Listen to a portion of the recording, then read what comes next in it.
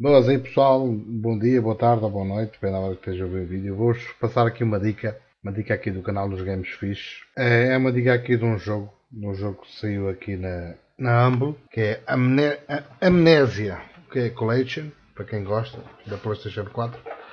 Agora disponível para PC, para, para Steam, para quem quiser.